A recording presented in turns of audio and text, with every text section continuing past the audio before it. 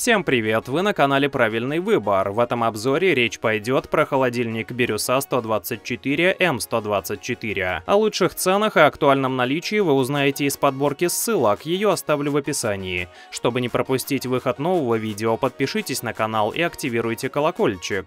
А чтобы поддержать канал, пишите комментарии и ставьте лайки.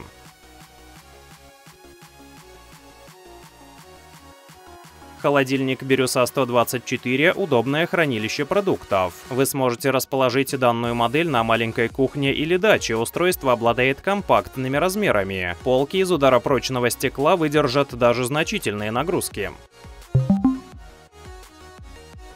Объем холодильной камеры составляет 170 литров, а морозильной 35 литров. Этого хватит для одного-двух человек.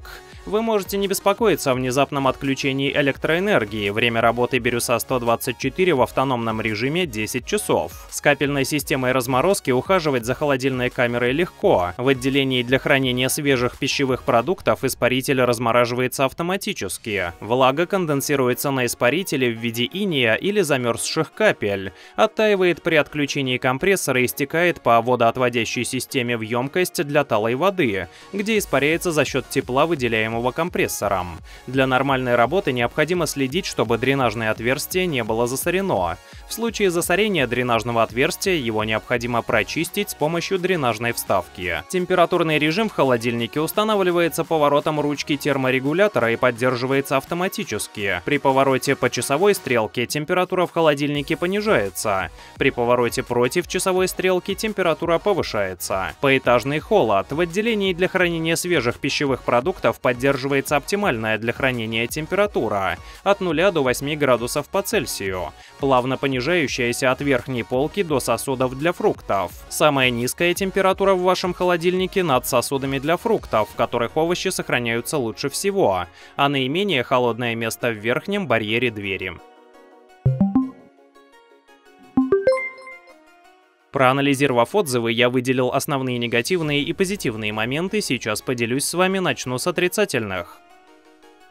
Очень громко работает. Менял дверь, неудобно.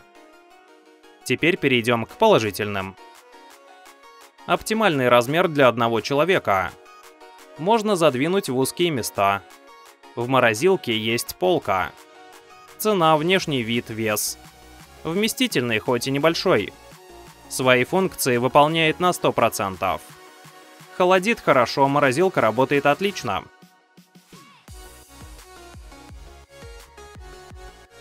Напоминаю, что ссылки на полные характеристики и выгодные цены оставлю в описании под видео. Чтобы не пропустить новый обзор, подписывайтесь на канал и нажимайте колокольчик. Не забудьте поделиться мнением в комментариях и поставить лайк. До скорой встречи на канале «Правильный выбор».